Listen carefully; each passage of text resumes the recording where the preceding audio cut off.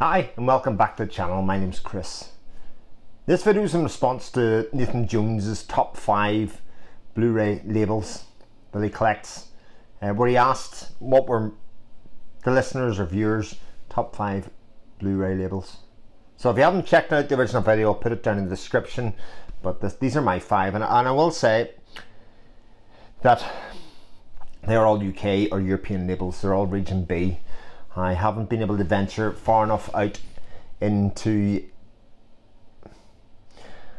there's enough releases here in the UK without having to venture across and, and testing my budget even further by going into some of those uh, beautiful Kino Lorber sets etc that, that there are. So with that in mind I'll, I'll give my outline for my reasons for picking each of these. So for most cases it'll be a case of a combination of quality of the catalogue that they're going to release. So the, the films that they tend to pick from or that they deliver, and then the quality of the, the releases that they put together. And that can be in terms of extras, it can be in terms of packaging, it can be all those things kind of meld into one. And I'll, I'll do much like Nathan. I'll start off with a honorable mention pile. So most of these again are based on the fact that I haven't got a lot of them, certainly in comparison to some of the other labels that we have. So things uh, honorable mention go to second run. I only have about four or five titles from second run, and they're all great so far. Um, a very heavy on Czech New Wave as far as I can see. Um, but I watched curling. I've done a video on curling before, and I have Neon Bull, etc. that are that are down there as well.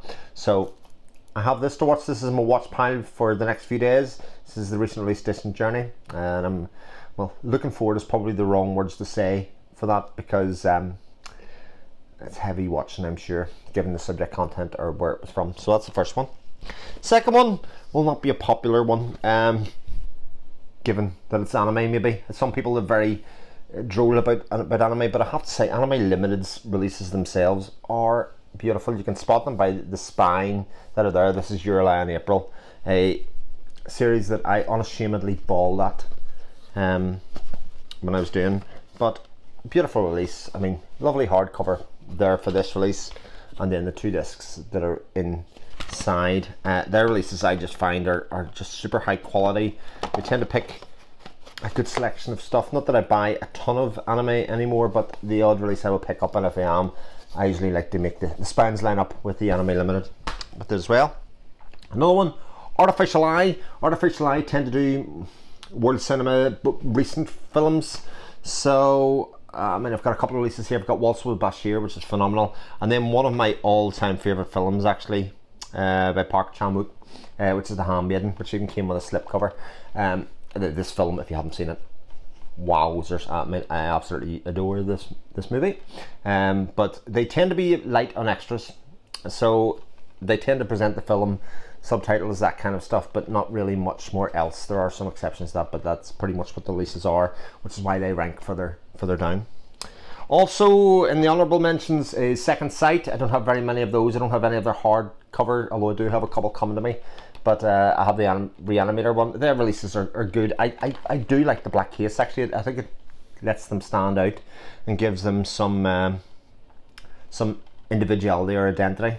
Um, but I've, I've only got the Reanimator, so that's the only one that I've got for that.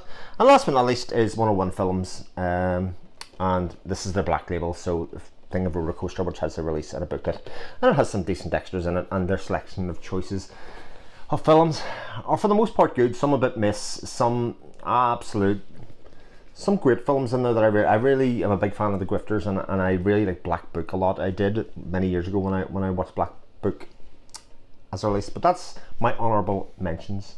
As my top five well in fifth place comes a label that if you were to look at my recently watched list, this makes up an awful lot of that label, which means they've had a bit of a rebirth for me, and that is the BFI label. I've got two releases here, Judgment Nuremberg and Battle of the Sexes. Uh, they've just basically dropped in through the door today. Um, I do like this move to the new Scanavo case that are full spines and not the ones missing at the top. I think it, it gives them a bit more of a premium look or otherwise.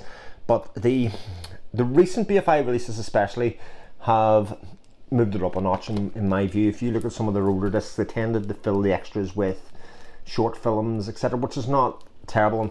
in fact, Funeral Parade of Roses has lots of short films, but there's a decent audio commentary, etc., there as well. The restorations and picture quality of the BFI releases, especially, I think, is top notch.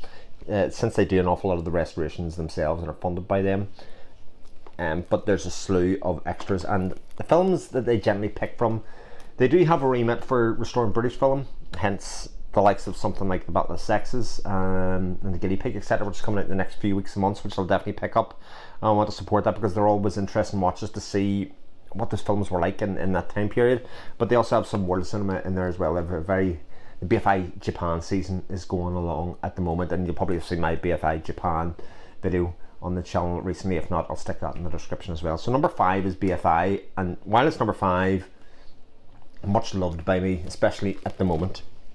Number four is uh, Eureka, Masters of Cinema specifically, but the Eureka releases in general, their classics line's great as well.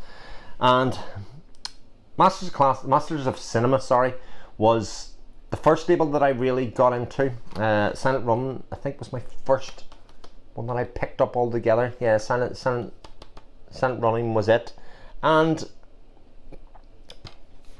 it has a number of. I mean, I don't think I've seen a bad release from Master Cinema film that I haven't liked. They tend sometimes to be on the safer side of a good release, so that you can turn out any western with a a good director or a good cast on it, and it'll be on without it necessarily being a classic. But for instance, they have a lot of uh, films like King Hu.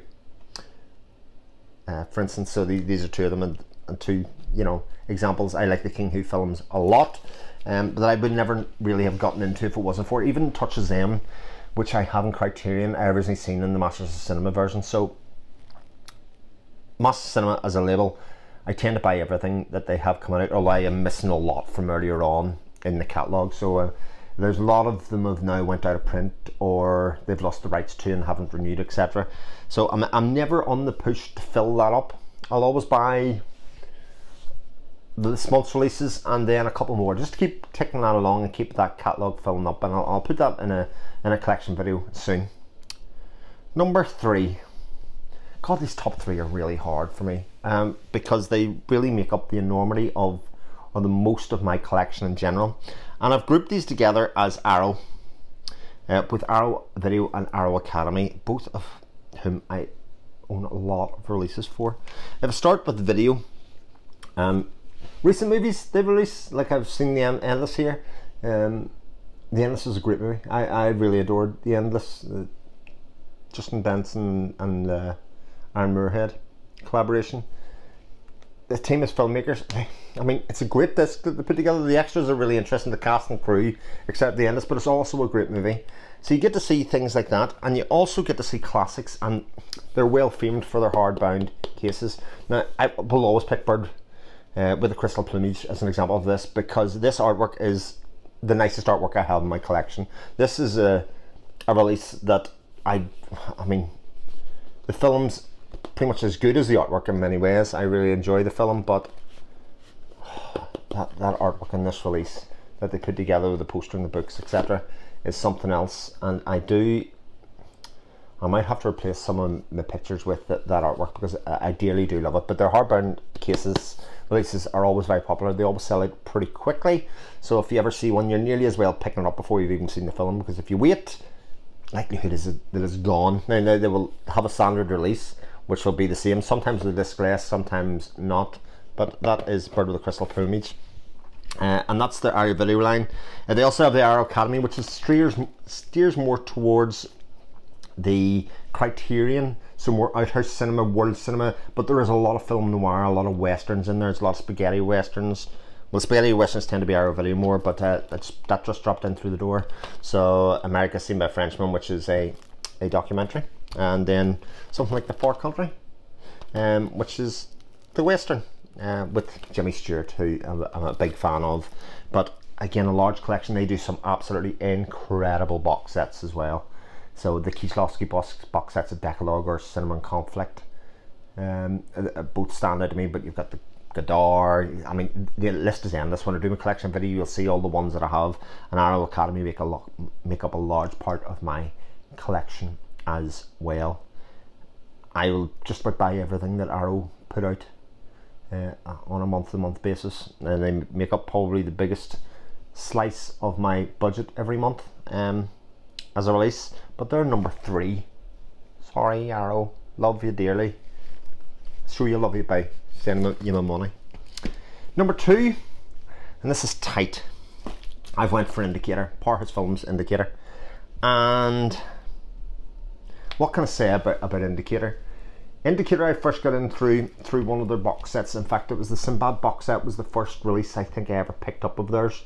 Uh, quickly followed by the two Harryhausen Harry Harryhausen box sets. Um,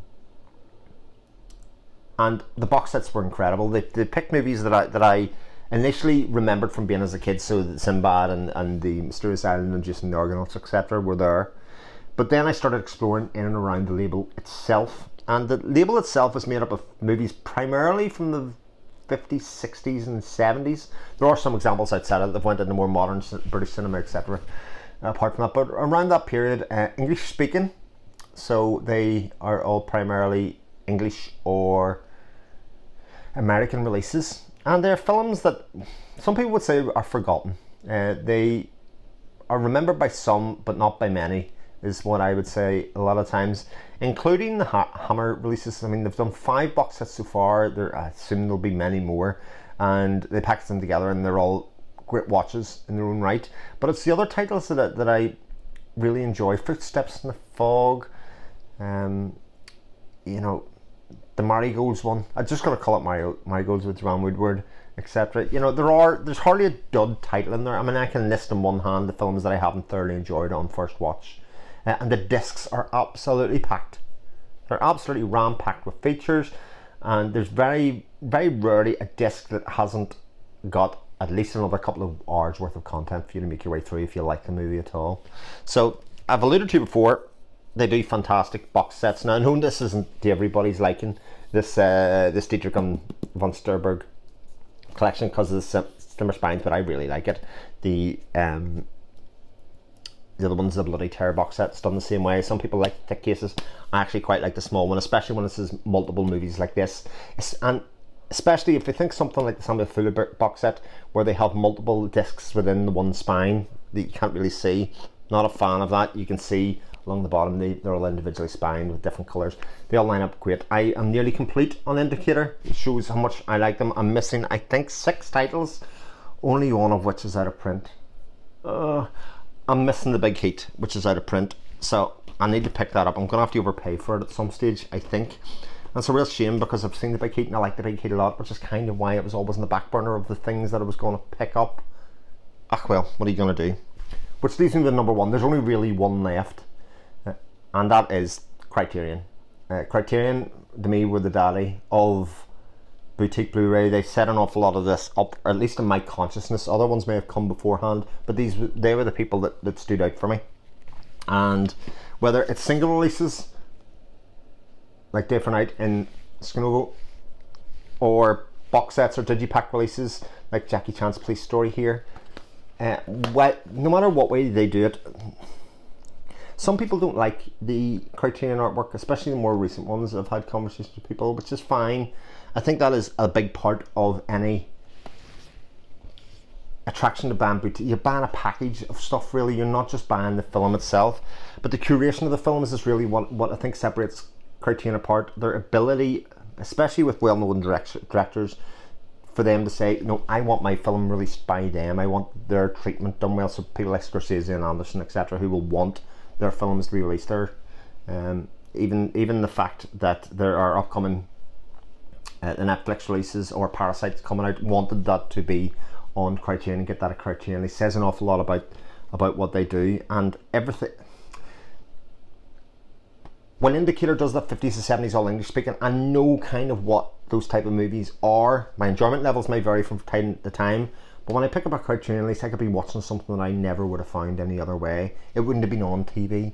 It would never come across my radar otherwise, and that's why they're number number one for me. There's the Koker trilogy as well. Sorry, back to front, uh, which has some of the greatest artwork that you'll ever see, with the inter- interfolding cases that make up the three the three windows that are inside. So like, that's unusual. That steps outside the comfort zone of what they are, and you get what is pretty much a premium package that you pay for. There, is a premium to Criterion releases, especially in the UK, where the digipack releases are are that more expensive. Um, but that's my top five. Let me know what yours is. Respond to Nathan's video if you want to let him know as well uh, what your top five is. But those are mine. Uh, thank you very much for watching. Take care of yourselves, and I'll speak soon. All the best. Bye.